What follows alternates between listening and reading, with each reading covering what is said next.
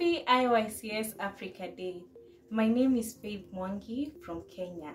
The highlight for me in YCS has been exposure. I was a participant in the international exchange program between German and Kenyan youths, and through this, I was able to meet young people from the global north, meet policymakers, and learn a lot about sustainable development goals. Today is IYCS Africa Day.